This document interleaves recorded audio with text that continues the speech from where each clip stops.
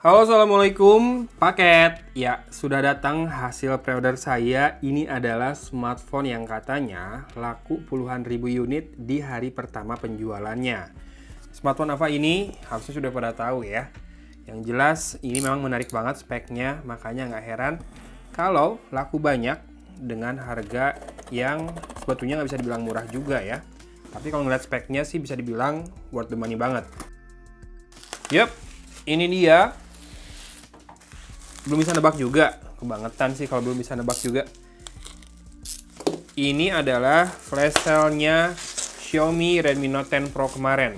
Jadi ternyata tidak goib. Jadi kemarin saya double tuh uh, buka di browser Shopee sama Lazada karena nyari atau ngincar Redmi Note 10 Pro sama Redmi Note 10 yang versi biasa yang di Lazada ya. Yang dikirim duluan ternyata yang dari Shopee jadi ini yang duluan di unbox. Ini harganya 3,8 jutaan buat varian RAM 8GB dengan storage 128GB. Prosesornya Snapdragon 732G ya. Sama dengan Poco X3 NFC. Yang digadang-gadang sebagai keunggulannya adalah kameranya yang 108 megapiksel quad kamera tele macro lens. Oh, oke, okay. lensanya telemakro nih. Menarik. Kemarin saya pakai lensa telemakro dari uh, smartphone lain, saya bisa ngambil foto lalat dengan sangat jelas. Padahal kan susah tuh foto lalat ya. Tapi bisa kalau pakai telemakro. Semoga nanti di Redmi Note 10 Pro juga bisa. Kemudian layarnya 120 Hz AMOLED 6,67 inci dot display dan dual speaker. Ini keren sih di harga segini. Layarnya sudah 120 Hz yang mana biasanya dipakai di smartphone flagship ya. Ya, prosesornya betul Qualcomm Snapdragon 732G 8 nanometer high performance processor, kemudian fast chargingnya 33 watt, kalau nggak salah udah dikasih juga kepala chargernya di dalam, dan baterainya 5020 mAh ya. Ini sudah high res audio juga, ini makin mantap lagi nih, udah dual speaker, high res audio juga, dan warna yang saya beli ini Glacier Blue. Saya nggak nyari yang warna bronze, karena menurut saya bronze-nya biasa aja, nggak mewah kayak bronze-nya flagship lah ya. Tapi katanya yang bronze itu memang cuma 1000 unit yang dijual, makanya paling cepat habis. Dan harganya kalau nggak salah beda 100 ribu ya, lebih mahal. Dan dapat paket khusus yang Mi Fans Festival. Kardusnya juga beda, nggak kayak gini. Ada penampakan planetnya kalau nggak salah. Seperti biasa, begitu dibuka ada sebuah greeting dari Alvinse. Oke. Lalu ada sebuah partisi design by Redmi sekarang tulisannya, udah bukan by Xiaomi lagi. Oke, ini soft case-nya, bagian belakangnya buram, ini total-total titik-titik biar nggak bubble, dan bagian tepiannya lebih clear tapi tetap titik-titik, dan di sini ada lubang di tombol powernya. Kemungkinan fingerprint scannernya di tombol power kalau gitu ya. Saya pikir kalau pakai AMOLED, uh, fingerprint scanner di layar, ternyata enggak. Mungkin itu salah satu hal yang membuat Xiaomi bisa jual di level segini karena fingerprint scannernya belum di dalam layar. Dan ini adalah SIM tray ejectornya. Lalu ini smartphone-nya, tapi kita akan skip dulu ya smartphone-nya. Kita lihat dulu nih di dalamnya. Ya, tidak ada headset, tapi dapat soft case, kemudian juga kepala chargernya sudah yang support 33 watt.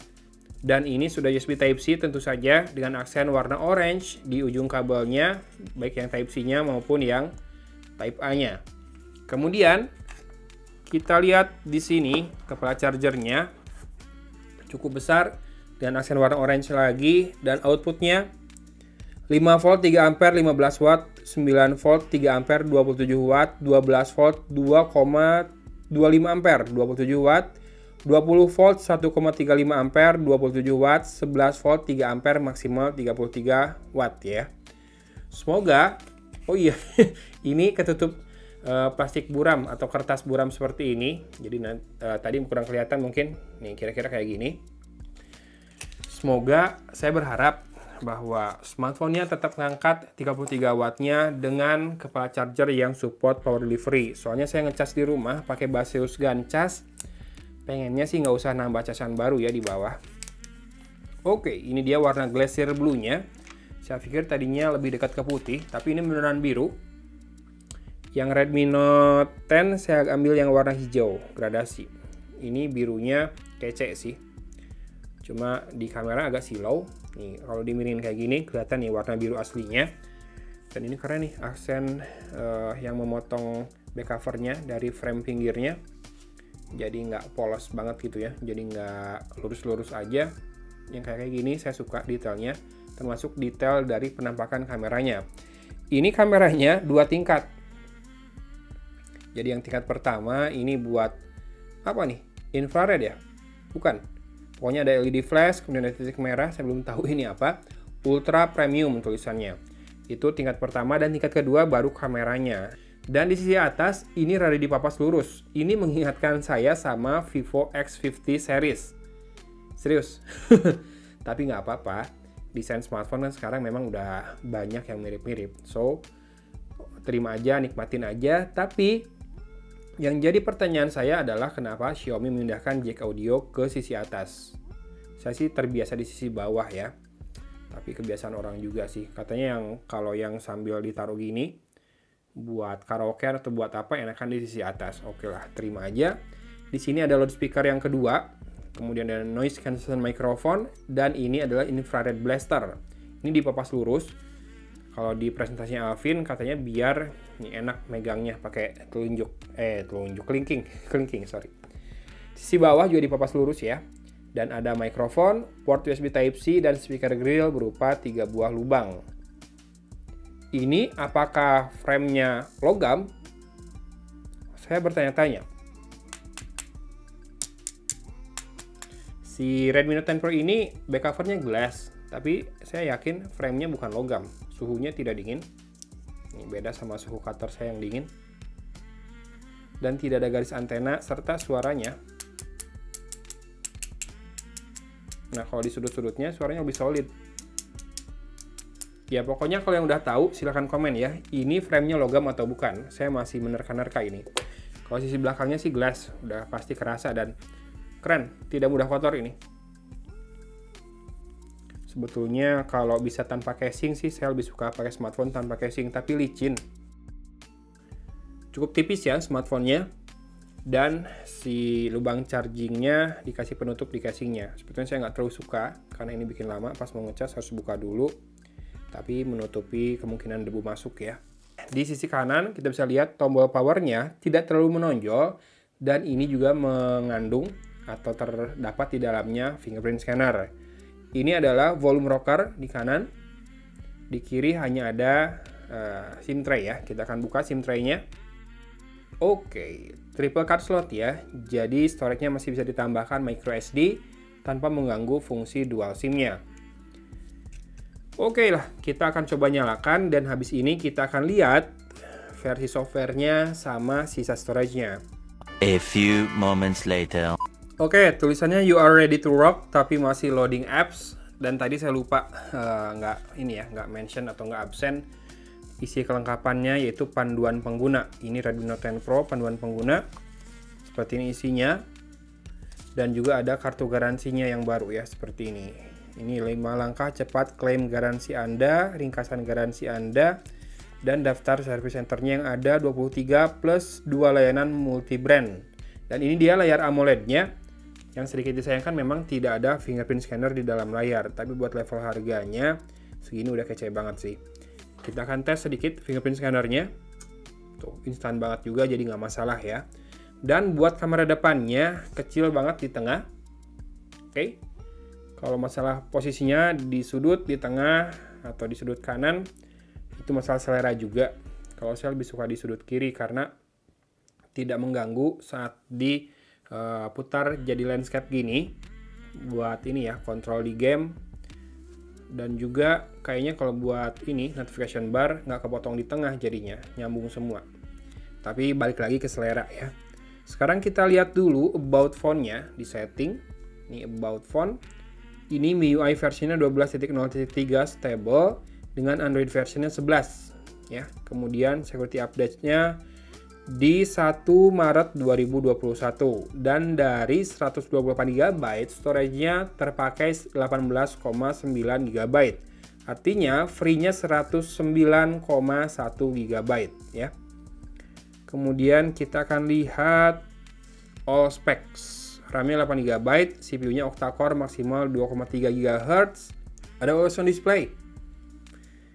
Oke, jadi di uh, layar AMOLED-nya salah satu kelebihannya adalah bisa menampilkan always on display.